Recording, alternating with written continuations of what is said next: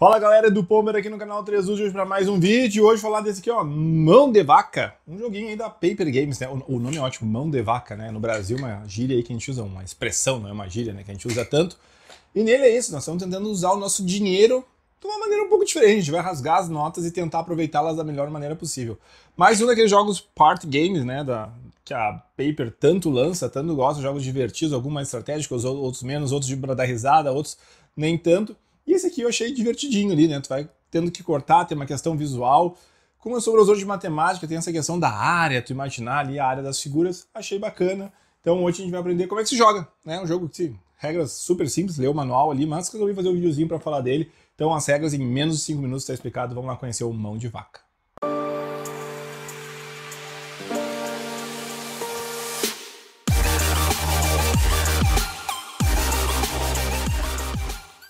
Este episódio tem o apoio da Bravo Jogos. Muito mais que uma loja, seu lugar de diversão. Muito bem, pessoal. Então vamos aqui para as regras do Mão de Vaca da Paper Games. Mais um part game da Paper aí. Né? Sempre com os joguinhos bem divertidos para passar aquele tempo com a família. Bacana. Pessoal, o jogo vem com essas notinhas falsas de dinheiro, com essas pilhas de cartas de objeto e algumas cartas de evento. O que tu vai fazer? Tu vai pegar essa pilha aqui para preparação do jogo, vai embaralhar e vai abrir três objetos aqui aonde? No centro da mesa. Abriu esses três objetos, tu vai pegar, vai pegar essas cartas aqui que são as cartas de evento, vem cinco delas e tu vai embaralhar elas aqui dentro desse deck, né? Então vou botar aqui separadamente já, né? Pegar aqui e vou embaralhar isso aqui para deixar as cartas de evento aqui no meio, né? Desse deck. Opa, né? Muito bem. E aí nós temos aqui o nosso deck de compras.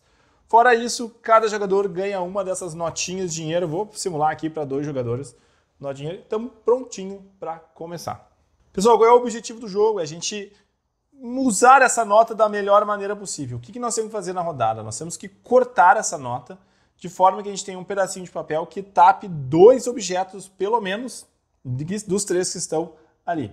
Como é que é as regras para fazer isso? Tu não pode medir, querer medir aqui com qualquer jeito, tu não pode aproximar a tua nota, tu tem que observar e cortar a tua nota. E os jogadores fazem isso simultaneamente. Então os jogadores vão lá vão pegar o quê? Vão cortar o papelzinho e vão tentar né, tapar dois objetos. Por exemplo, vamos tentar fazer um aqui rapidamente. Né? Vamos dizer que esse jogador, não sei se vai ser o melhor aproveitamento possível.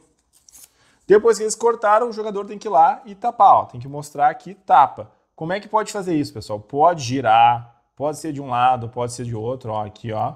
Se eu fizer aqui, ó, tô tapando o tênis. E aí, vamos ver aqui se eu consigo tapar. Ó, tapei a camiseta também. Então, beleza. Eu já passei dessa fase aí. Eu consegui mostrar isso, né? Até aqui eu teria tapado as três, então talvez pudesse ter aproveitado melhor o meu pedacinho de papel. O que, que acontece se o jogador não consegue tapar os dois, pelo menos dois? Ele vai ter que descartar isso aqui e cortar um novo pedaço e repetir o processo até que ele consiga tapar pelo menos dois. Bom, depois que todo mundo tapou dois, ou se um jogador não tiver mais papel, ele é eliminado, mas eu vou explicar isso aqui, a gente faz o quê? A gente descarta esses três objetos e abre três novos aqui, e se começa uma nova rodada com o quê? Com o papel que sobrou. E assim vai indo o jogo.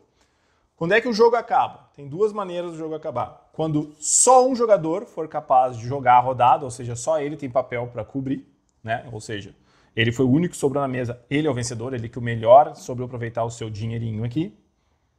Ou se nenhum jogador tiver apto. E aí os jogadores que ainda têm nota, que não foram eliminados, vão comparar. E vocês vão ter que dar um jeito de comparar, recortar elas, botar uma por cima da outra, para ver quem sobrou com mais papel, se tiver alguma dúvida. Vocês têm que ter a certeza de quem tem mais papel, esse é o vencedor. Essas são as regras, falta só uma exceção que eu tenho que explicar aqui, que são as cartas de evento. O que, que acontece com as cartas de evento? Deixa eu pegar as duas que tem aqui. Nós temos a promoção e a final do mês.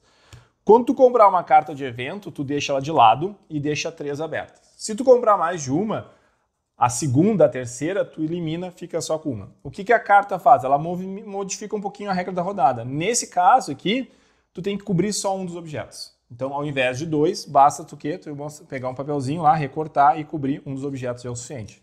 Já essa outra aqui, tu tem que conseguir cobrir os três. Nesse caso aqui, eu acho que não vai dar aqui a mala. Não, ou olha, eu acho que deu, hein? Sei, talvez deu. Deu deu aqui? Não sei se deu. É, ficou na dúvida, hein? Vai ter que chamar o VAR aqui. Mas a diferença é essa, vai ter que fazer o quê? Cobrir os três. E pessoal, essas são as regras, jogo super rápido, explica em 5 minutos e aí tá aí. Né? Tem que saber cortar, olhar, ver bem, aproveitar bem a sua notinha. Então tá aí, pessoal, regras do mão de vaca. Até mais, aquele abraço.